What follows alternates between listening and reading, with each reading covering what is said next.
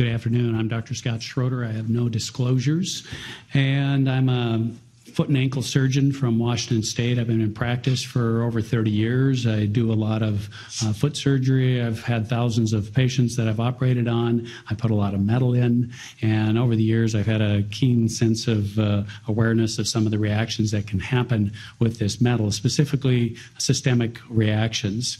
I've had a study going on over the past couple decades. Over the past 10 years, I've, I've surgically removed over 1,000 implants in over 400 patients. Uh, some of the systemic effects that I've seen over the years muscle spasms, fibromyalgia, joint pain throughout the body, severe fatigue, sleeping problems, migraines, dermatologic conditions, emotional issues, exacerbation of rheumatologic conditions, paralysis issues, which one which I will present, neuromuscular conditions throughout the body, uh, reactions of hardware in other parts of the body. Cause and effect is what I'm presenting, and where I place metal implants or somebody else has, and certain symptoms develop. Metal implants are then removed, and certain symptoms either significantly improve or completely resolve. And in many cases, it's completely resolved. Cause, cause and effect is very powerful, and it's hard to dispute. In my study, it appears we have sensitivity reactions as well as galvanic reactions and allergic reactions, or a combination thereof. One thing I've been working on is galvanic or battery type reactions between dissimilar metals in the body. Titanium is positively charged, stainless steel negatively charged, amalgams are negatively charged, and I've had success in removing metal from the feet, improving symptoms in a total knee or hip or back issues. So, how much of the body is comprised of electrical impulses? Well, a, a depolarization of the nerve and a nerve impulse fires off at about 70 millivolts. I worked with a, a neurologist and he does a lot of electrodiagnostic testing and he recommended we use a voltmeter and ultrasound gel. This is baseline for this testing here, 3.2 millivolts. I then took titanium plate and a stainless steel plate I've taken out of a body, 478 millivolts. Uh, and these are not touching each other. And then I've been having problems with metal in the foot and metal in the mouth. And so I ran this good old Hot Wheels track six foot away and still 118 millivolts. Here's some corrosion from a plate, titanium plate, that was only in there for four and a half months. So, first patient, severe back pain, had stainless steel I'd placed in her foot, both feet actually, about 20 years ago, three years ago. She had titanium plates and screws in her back, had significant symptoms ongoing. Everything had fused. She then had a total knee implant. Back pain worsened. I ended up removing the stainless steel from her feet, and her back pain essentially resolved. Here's the, some of the hardware. Another patient had an InterStim for an overactive bladder in her back, and I had previously two weeks previously, uh, fused her big toe joint with a stainless steel plate and screws. She had no problems at that time. Once she had the InterStim place, she had significant pains going up her, her left leg and then into her back. And it developed to the point that it was very difficult for her to get up from a sitting position. It was hard for her to get her feet underneath her, and she felt as, she, as if she was going to fall. I removed the hardware, and all of her symptoms completely resolved. Here's the InterStim. Another patient, uh, teacher, uh, age 16, she had her first foot surgery with stainless steel screws.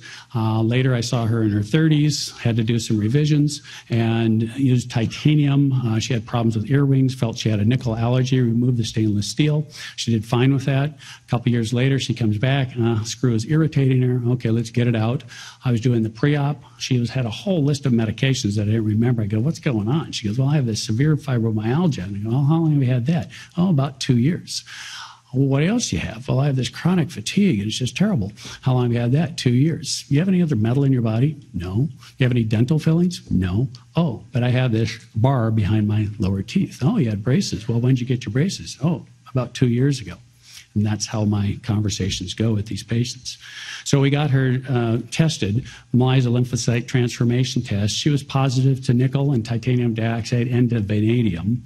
And we ended up uh, getting her in to get her uh, titanium out. And I will have you listen to a voice memo here.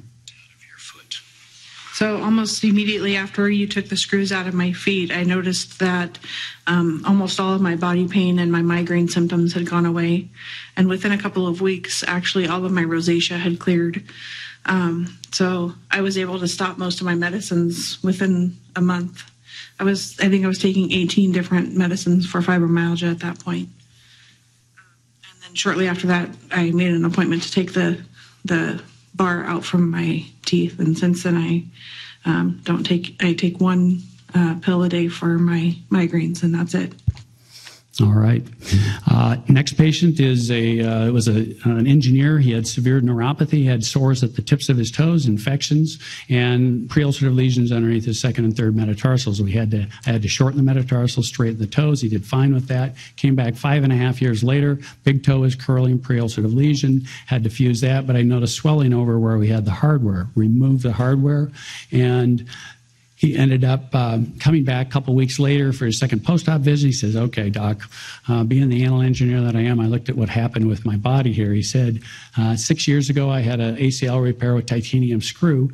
Four years ago, prior to the surgery, he started developing neuropathy symptoms in his feet, progressed to his hands, his entire body. You put the hardware in my feet. Three months later, I started developing uh, basically paralysis for 45 minutes every two to three days and up went up to 10 hours a day. He was disabled.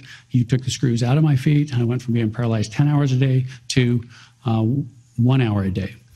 Uh, then he ended up, uh, we got him tested with a MELISA test, and he was uh, positive for nickel and significantly positive for palladium, which he had in six uh, white gold crowns in his mouth, 26% palladium. So here were the screws from his feet and the one from his knee. And so we ended up, I ended up presenting his case over in London at a lecture on metal allergies uh, or metal sensitivities and reactions associated with systemic effects. And this was a letter, open letter to Dr. Stejskal, Vera Stejskal, who developed the MELISA test. So even though we'd never met, Dr. Stejskal's impact on my life is immeasurable. Our lives crossed paths after I had been a rigid quadriplegic for over five and a half years. I experienced episodes of paralysis that would leave me completely immobilized, paralyzed for excess of 10 hours a day. Neurologists and geneticists performed neurological and and genetic testing at the University of Washington and Mayo Clinic over this time without additional diagnosis other than episodic rigid quadriplegia. It wasn't until my podiatrist, Scott, Dr. Scott Schroeder, suggested the MELISA test that I saw any hope. When Dr. Stejskal offered to do the MELISA test herself on a gratis basis was more than I could have ever hoped for. The testing and results allowed me and my doctors to understand what was truly happening in my body. Then we were able to formulate a treatment plan. Today, as I write this, I am completely paralysis free and words cannot express my gratitude for what a difference Dr. Dr. Stejskal has made in my life. I was told that most likely I'd be in a wheelchair the rest of my life, and just last year I had the opportunity to walk my daughter down the aisle at her wedding. So yeah, he had oxidation under these implants. I think he had a galvanic reaction between the two that then exacerbated the sensitivity reaction of the two. So in closing, these diagnostic uh, reaction or, or diagnoses mental act, uh, reactions, you have to have a high index of clinical suspicion. And really, we need to train our medical community. A lot of the surgeons and docs in our area have no idea about this, and I would implore the FDA to really work with this in medical school training residencies and CME courses. As far as testing goes, one of my rheumatologist colleagues says, I, I don't have great tests all the time, but uh, you have to use those in combination with my clinical information. And so uh, the MELISA test has been significantly important for me, and I really think this needs to be covered by insurance uh, throughout this country to really get this thing going. And we need more implants and better implants for uh, good functioning non-metallic implants as possible. And last slide, uh, obviously there's more research needed, and uh, but we really have people that are out there suffering now, and so we really need to get this information out to the docs. Thank you very much.